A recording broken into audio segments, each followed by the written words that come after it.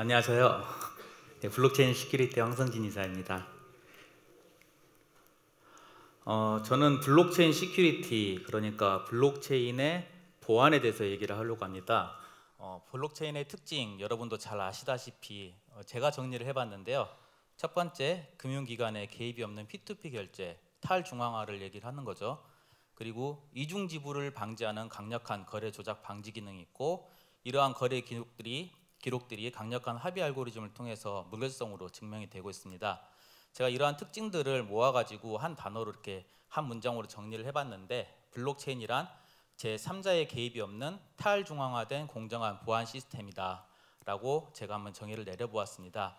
블록체인이 있다면 어, 누구나 이런 공정하고 보안이 확, 확보된 시스템을 사용할 수 있다라는 뜻이고요. 제4차 산업혁명에서 이런 블록체인이 주목을 받는 가장 큰 이유 중에 하나가 이런 탁월한 보안성이 아닐까라는 생각이 듭니다. 그렇다면 이 블록체인이 모든 문제를 해결할 수 있는 만능 열쇠인가라고 하면 아직은 그렇지 않다는 게 제 의견입니다. 블록체인도 한계가 있는데요. 어, 블록체인은 굉장히 강력한 그런 합의 알고리즘을 가지고 있습니다. 하지만 어, 이전에 비트코인 골드, 골드라든지 젠캐시의 이런 어, 일들이 있었는데요. computing power를 hash power를 51% 이상 점유를 당하거나 노드가 장악을 당하면 이중 지불 등의 아주 어, 큰 문제가 발생할 수가 있습니다.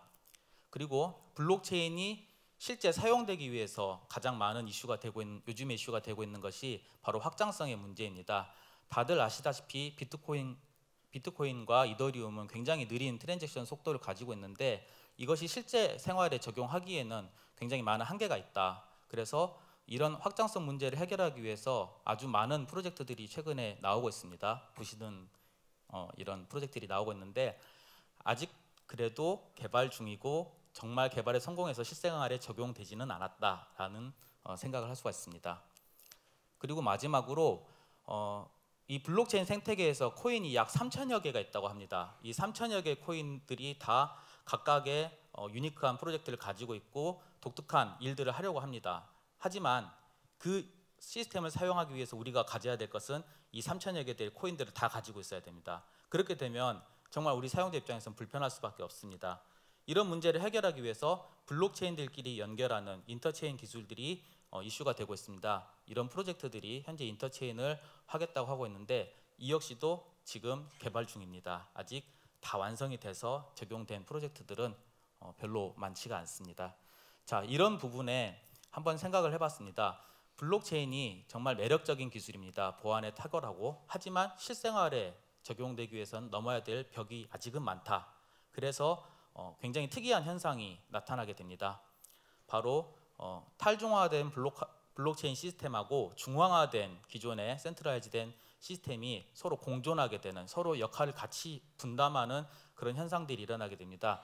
여러분들이 아시다시피 제일 대표적인 애가 거래소가 되겠습니다. 물론 실생활에 적용이 되려면 여러분 모두 암호화폐 지갑들을 어, 앱이라든지 이런 형태로도 어, 가지고 프로그램을 구동하고 이런 일들이 필요하게 됩니다.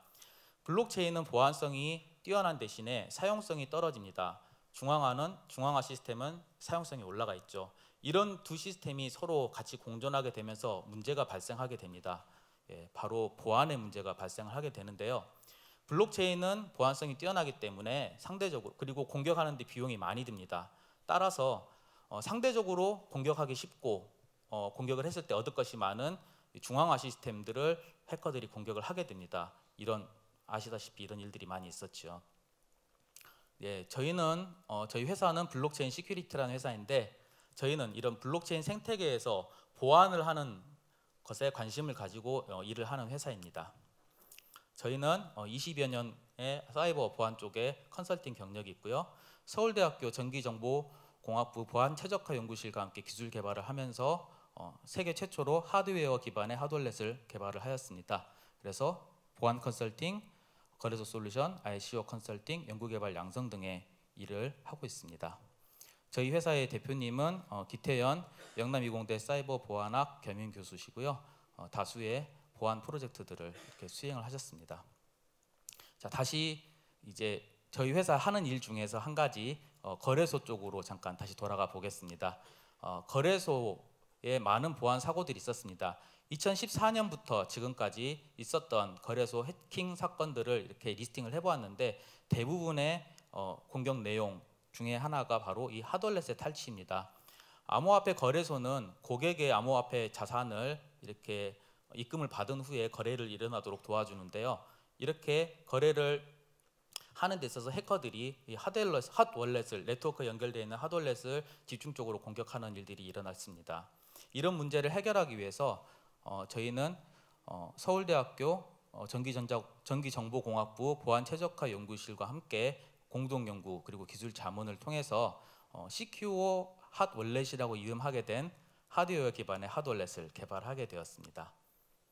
잠깐 이렇게 설명을 좀 드리면 기존의 핫월렛 시스템은 거래소에서 아무리 보안을 잘 유지한다 하더라도 결국에는 어, 암호화폐의 private key를 서버상으로 올려서 어, 이체 업무를 처리하기 때문에 서버만 장악을 당하게 되면 결국에는 어, private key가 탈취 당할 수도 있다라는 부분이 제일 보안의 허점이었습니다.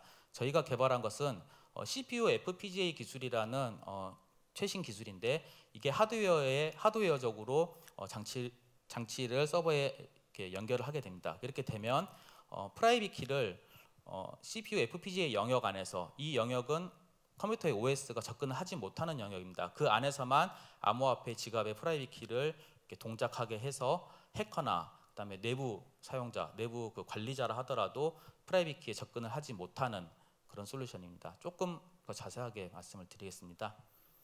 어, 사용자는 그 자신의 암호화폐 지갑의 private key, 어, 여기도 private key하고 본인 인증 도구를 어, 이 하드웨어에서만 풀 수 있는 어, private key로 풀 수 있는데 이거의 public key로 암호화를 하게 됩니다. 그러면 이 정보는 하드웨어 안에서만 이 FPGA 영역 안에서만 복호화가 가능합니다. 따라서 이 암호화된 bitstream은 사용자 본인도 내용을 알 수가 없고요. 이 서버의 운영자도 알 수가 없고 해커가 서버를 장악했다 하더라도 이 내용을 복호화할 수가 없습니다. 이 내용을 복호화할 때는 이 하드웨어 원래 안에 있는 FPGA 칩 영역 안에서만 복화가 가능하기 때문에 이때 최, 최 초의 지갑을 만들 때 심어두었던 본인 인증 도구 두 개를 비교해서 어, 지갑이 사용이 되는 그런 원리로 되어 있습니다. 그렇기 때문에 어, 내부 관리자나 외부에서 해커가 이 서버를 전체적으로 장악을 하더라도 어, 지갑을 꺼내갈 수 없는 그런 핫월렛이 되겠습니다. 이 핫월렛은 저희가 어, 특허를 이렇게 출원을 해서 지금 어, 지, 사업을 진행을 하고 있고요. 어, 이 핫월렛을 이제 개발하는 것을 떠나서 한 가지 더 저희는 이 핫월렛을 어, 적용한 거래소도 개발을 하고 있습니다. 저희 BCS가 어, 보안 쪽 솔루션이라든지 컨설팅 사업을 하고 있기 때문에 어, 이 핫월렛을 적용한 거래소 그리고 여러 가지 어, 보, 보안 취약점들이 이렇게 보완되는 보안 솔루션들을 적용한 거래소를 현재 개발을 하고 있습니다. 그리고 저희들이 하는 일 중에 이제 보안 컨설팅 사업이 있는데요.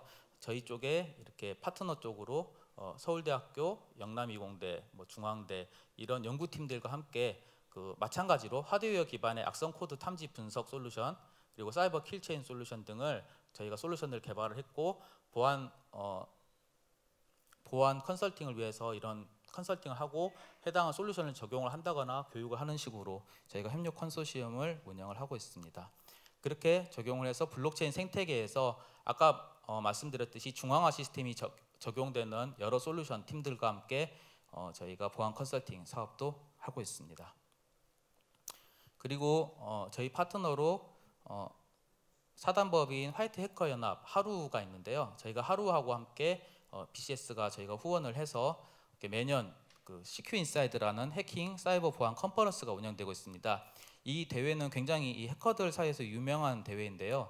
이 대회에서 저희 한국 팀들이 계속 우승을 하고 있습니다. 한국의 해커 어, 기술력이 굉장히 해킹 기술력이 대단한데 이런 해커 분들하고도 저희가 일을 하고 있습니다. 아까는 제가 이제 중앙화 시스템에 대한 보안 이야기도 말씀드렸지만 저희는 여기서 멈추지 않고 어, 기존의 public 블록체인들에 대한 지금 공개가 다 되어 있죠. 어, 전체적인 일제 점검 보안 일제 점검 계획을 시행하려고 하고 있습니다. 어, 화이트 해커 연합 하루하고 대한 블록체인 조정협회 블랙펄 BCS가 어, 이것을 2018년 10월부터 어, 각 프로젝트별로 보안 취약점을 저희가 조사를 하고 취약점이 있는 경우에 해당 프로젝트에 통보를 하고 컨설팅 및 어떤 그 해결할 수 있도록 저희가 이끌어 나가는 그런 일들을 하고 있습니다.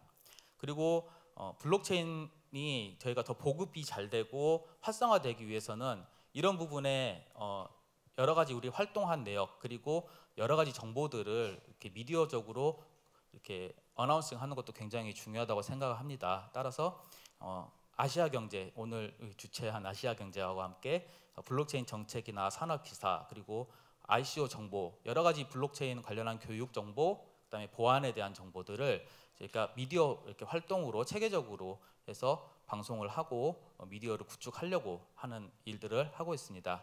이러한 모든 일들에 어, 저희가 이런 여러 파트너들과 함께 어, 일을 추진하고 있고요. 어, 앞으로 우리 한국에서 이 블록체인 생태계 쪽에 어, 굉장히 큰 발전을 이끌어 나가도록 우리 저희 블록체인 시큐리티가 열심히 노력하도록 하겠습니다.